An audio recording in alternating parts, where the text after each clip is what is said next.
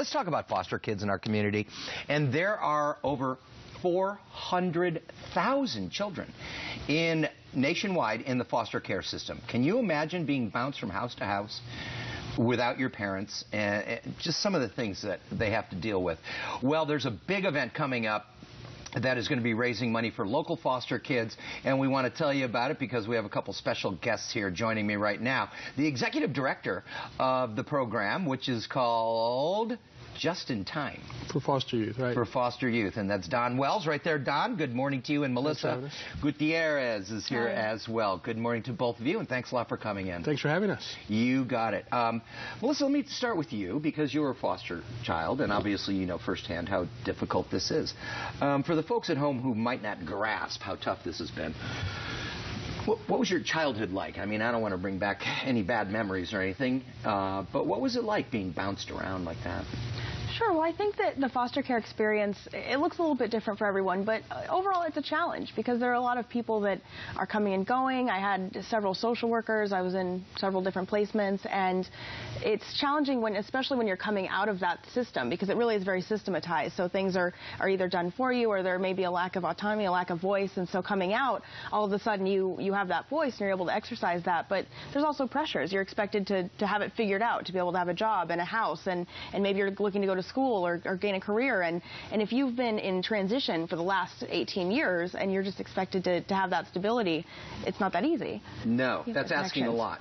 And that's where your group comes in. Right. And as Melissa was saying, if you think about your own children when they were 18, could they have gone out into the world without getting any more help from you or advice and just made their lives work? And, and it just doesn't happen. Right. So what we do is we have volunteers.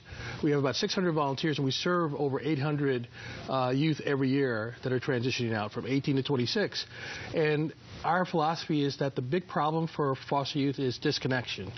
They are disconnected from their parents and their families, and then when they're in care, they're disconnected from the communities because, as you said, they keep getting moved around. So we try to provide that connection so that they, they have volunteers that they get connected with, and we provide resources, but those volunteers provide the relationships and become that community for them. And I'm sure you have some great success stories. We do, and at the event, that's what the event is really all about. It's, it's, a, it's, it's not really a gala. It's a gathering of our community to hear some of those stories. And the the youth that we serve or the MCs, they do the entertainment and they tell their stories of, of really success in overcoming obstacles. Because the, the whole idea, and, and Melissa is, is a good example of this, it's not about, you know, my life was so bad. It's here's what I'm doing now and here's what I'm going to do in the future if only I can get the resources and, and have those connections that allow me to keep progressing. Exactly. And it's empowering for youth as well well. I mean, coming out, it's you're not only disconnected from adults, from community, but just knowing that there are others who have sort of shared that experience and are moving along the line, same lines and the same path. So being able to connect with those, I hear from a lot of participants, it's great just to be able to be in a room with 70 other people that we're all moving towards those same goals. It's yeah. very empowering. Well, you must be proud of yourself. You are now, what, 24? Right. 24 right, years 24 old. last year. and Time's she, flying. and she was a participant with us, but now she works for us. Right. She's our volunteer uh, coordinator. And, and who, who better than someone who's been in the system? Absolutely, absolutely. To be able to deal with this. Right.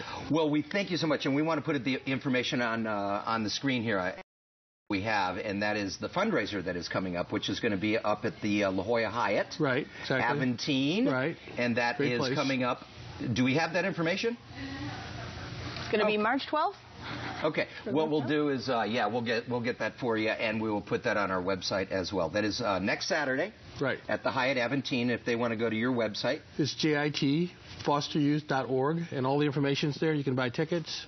And at the event, uh, there's about 350 guests, but 70 of our of our youth will be there at the event, sitting at the tables. So again, the people who are there can hear those stories firsthand. Yeah. I'm so excited. It'll be great. It'll be a lot of fun. Well, thank you so much, both of you, for coming in, and we'll put that information on our website. So you can find it. We can go to your website Thanks well. so much. Thank you. Thank you so much, both of you. All right, take a look.